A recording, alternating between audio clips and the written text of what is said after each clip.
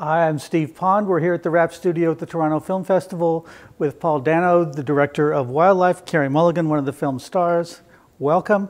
It's a beautiful film. I saw it at Sundance and and, and loved it, but it's not.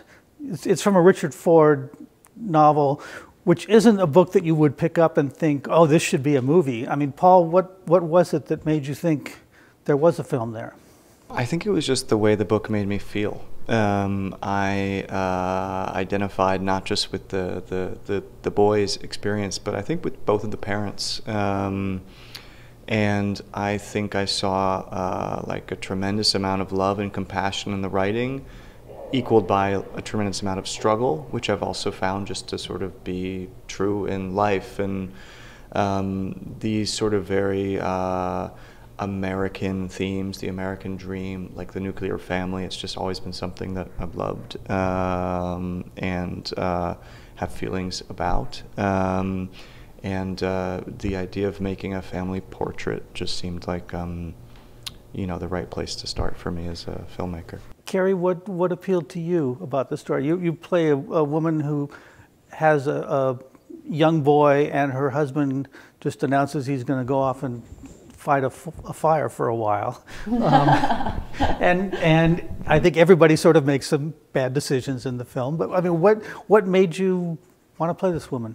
I mean, lots of different things. I mean, the bad decisions were a big part of it. You know, um, all of the mistakes that she makes and um, how wheels come off her whole life. It's sort of an amazing little glimpse at this week in her in this character's life where everything kind of goes terribly wrong, and her trying to figure her way through it. Um, for me, the the thing that really jumped out was that sort of weird nostalgic whiplash where you suddenly realise where you are in life and how you got you know you can't quite figure out how you got there and I think that's what she's going through in the film that she's she's been part of this like family unit and she's been a mother and she's been a homemaker and she's and and the and the and the thing that you have as a mother which is this constant to-do list of how you get through your life you're constantly thinking of what your children need and what the next thing is and um, and that that can sometimes take over who you are as a person.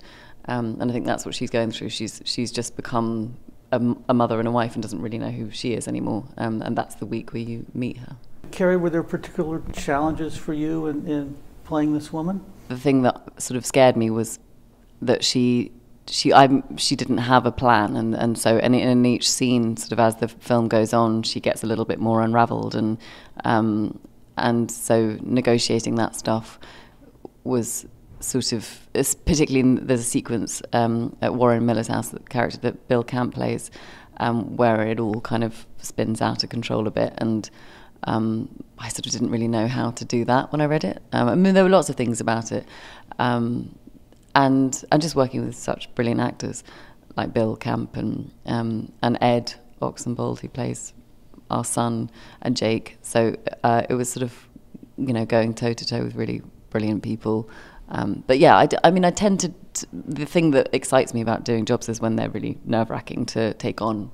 Um, so it always feels that way. If I'm doing something, it's because I sort of am a bit scared of it and don't really know how to do it when I go in and rely on having a great director to get, guide me through it.